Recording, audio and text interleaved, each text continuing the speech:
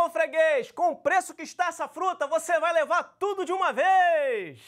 Olá crianças, olá famílias, sejam todos muito bem-vindos. Eu sou André Santos, professor de Educação Infantil, e vim aqui para contar, para tentar relembrar com vocês o momento que vocês vão à feira com o papai, com a mamãe, com a titia, com o adulto responsável da sua casa, e tem todos aqueles vendedores de frutas, aquela alegria, aquela coisa toda de todo mundo querer vender a fruta, aquelas frutas lindas, cheirosas, deliciosas ali.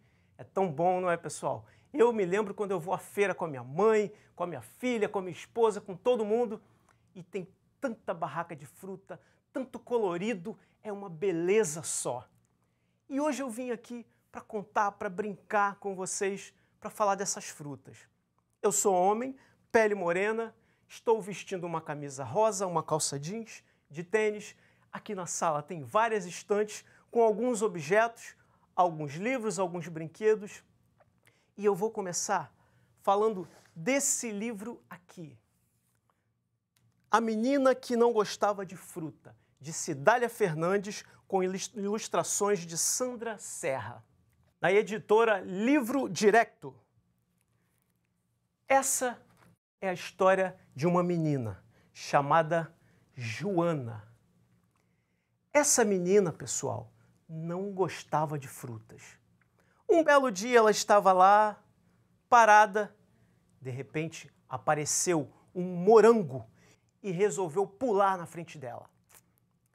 Ei, Joana, por que você não quer me saborear, Joana? Eu estou aqui tão vermelhinho, tão bonito, e você não quer provar? A menina olhou para ele e resmungou: Saia daqui! Não gosto de você!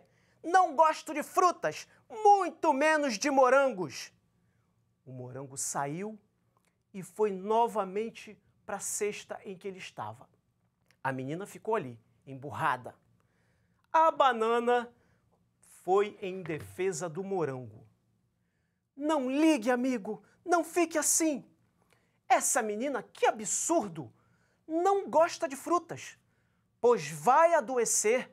Não fique assim. O pai dela falou ontem para ela que ela precisa comer frutas e ela não gosta de frutas.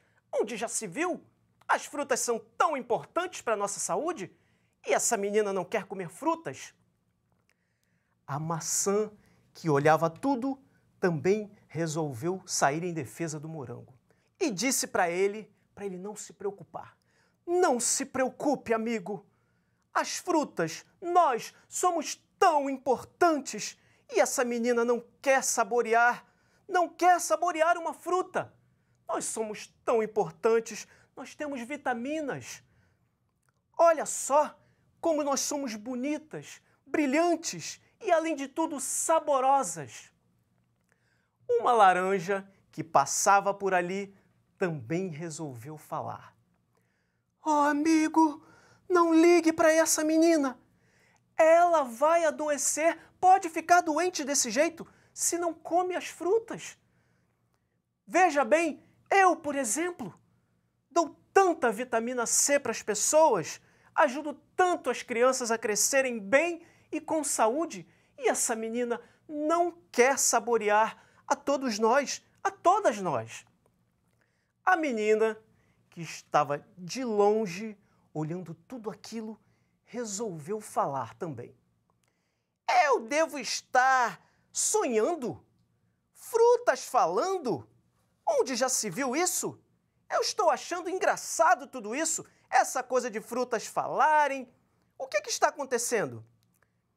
Amiga, você precisa entender que você tem que comer frutas. Todos os dias você tem que comer frutas.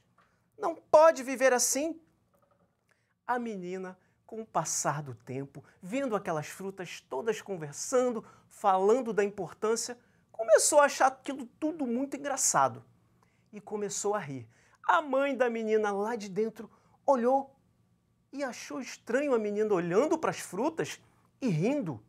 Alguma coisa estava acontecendo, mas a mãe ficou quietinha lá observando e viu que a menina estava provando algumas frutas, cheirando algumas conversando com outras e resolveu ficar quietinha observando. Ela olhou e brincou com a maçã, depois com a banana e depois teve um longo papo com a laranja e foi entendendo a importância das frutas, a importância das frutas para a nossa saúde.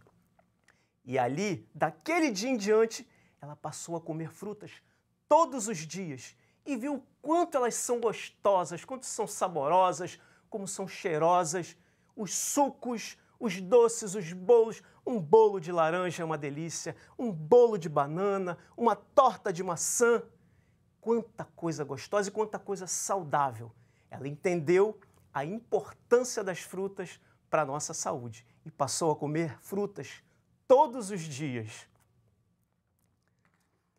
Depois dessa história tão legal, dessa menina que não gostava de frutas e passou a gostar depois que conversou, que observou todas aquelas frutas falando, que entendeu a importância delas para a saúde, nós vamos ver um vídeo do Meias Aventuras. Olha só que vídeo interessante. Vejam aí, o nome do vídeo é Barraca de Frutas. Vejam aí. Meias Aventuras.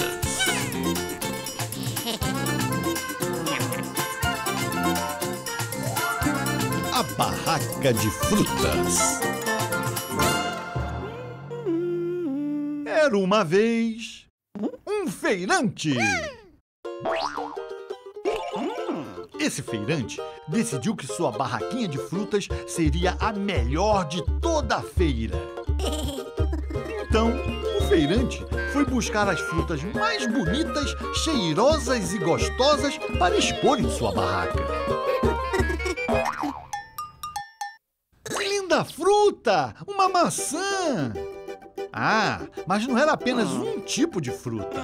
Era uma barraca com muitas frutas diferentes. Que beleza! Banana. Coco. Uvas. A barraquinha do feirante foi ficando cada vez mais bonita e cheirosa. Na barraca de frutas também tinha tangerina, abacate e é, um tijolo. É, tijolo? É, é, opa, meia! Meia, tijolo não é fruta. Ah, mais frutas. Abacaxi. Laranja.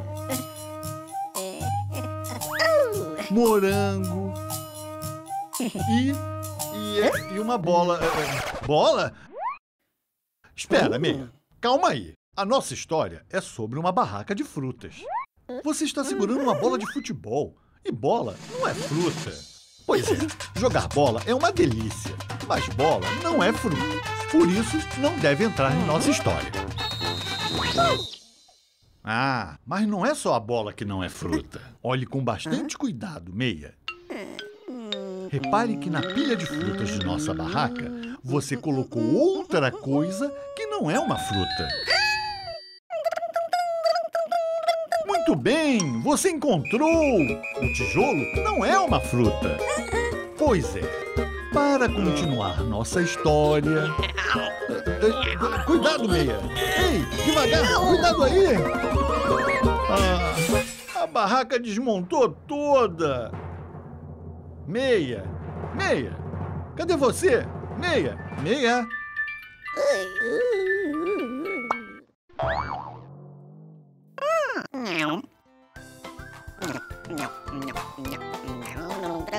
Pronto, lá se foi nossa história. E agora, depois dessa história tão legal, tão divertida do Meias Aventuras, onde eles vão na feira, tentam montar uma barraca, ele coloca até uma bola de futebol, um tijolo lá dentro da barraca, não é, pessoal? Foi muito divertido. Agora, falando em barraca, história de frutas, eu vim aqui sugerir uma brincadeira, na verdade, uma brincadeira de fazer picolé. Olha que delícia, hein? Quem é que não gosta de um picolé? De fruta, então? Que delícia! Vamos preparar um picolé simples, natural, que vai usar algumas frutas e água de coco. Olha só esse coco aqui, que lindo! Essa água que é uma delícia, tão boa, tão gostosa, faz tão bem à saúde, assim como as frutas.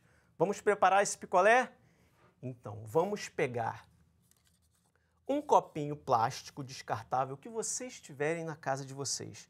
Vamos colocar pedacinhos de algumas frutas. Eu vou usar aqui um pouquinho de morango, o morango que nós vimos lá na história. Eu vou colocar esse morango vermelhinho aqui por baixo. Vai ficar uma salada, uma salada de frutas dentro do picolé. Vamos lá. Vamos misturar as cores. Botei o morango bem vermelhinho. Agora eu vou colocar manga. Essa fruta deliciosa. Olha aqui a manga como é que é bonita. Olhem as cores dessa manga, pessoal. Olha, crianças, isso. É rosa misturado com amarelo, misturado com verde. E por dentro ela é assim, ó, amarelinha. Vamos misturar aqui um pouquinho de manga, que eu já cortei. Vocês aí em casa, com a ajuda do responsável e do adulto, também vão pedir para cortar essas mangas, essas frutas, bem picadinhas. Coloquei a manga, agora vamos colocar uvas, pedaços de uva verdinha. Olha só. Vou pegar esse pedacinho aqui, vamos deixar aqui que caiu.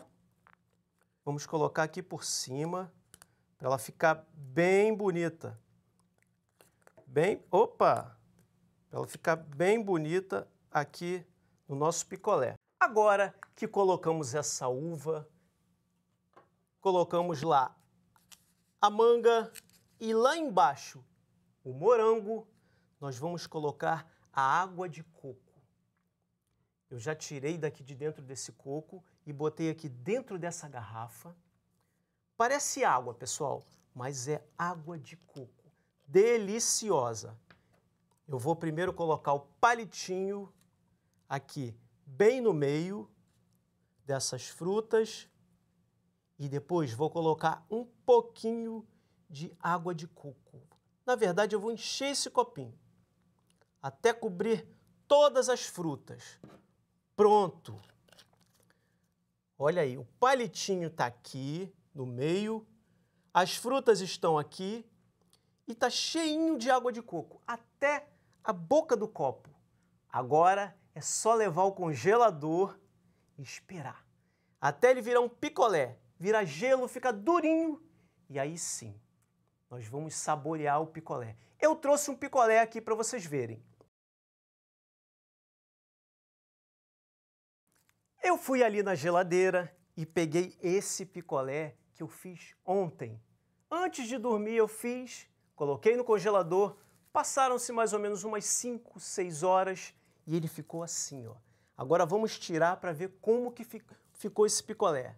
Atenção, olha que picolé bonito! Vermelhinho aqui, depois ele fica amarelo com a manga e depois verdinho com a uva. O morango vermelho, a manga amarelinha e a uva verdinha. Que picolé bonito. Agora vamos ver se ficou saboroso. Só um minutinho. Hum, que delícia! Pessoal, só um minuto. Hum, que delícia. Agora eu vou chupar um pedacinho aqui da uva. Hum, agora da manga. Hum, que... Pedacinho de uva. Que delícia. Agora, experimentem na casa de vocês. Façam picolés, comam frutas, que é tão importante, tão saborosa para a nossa saúde. Beijo, pessoal. Eu vou continuar aqui com o meu picolé. Pera aí, pessoal. Tchau. Beijo.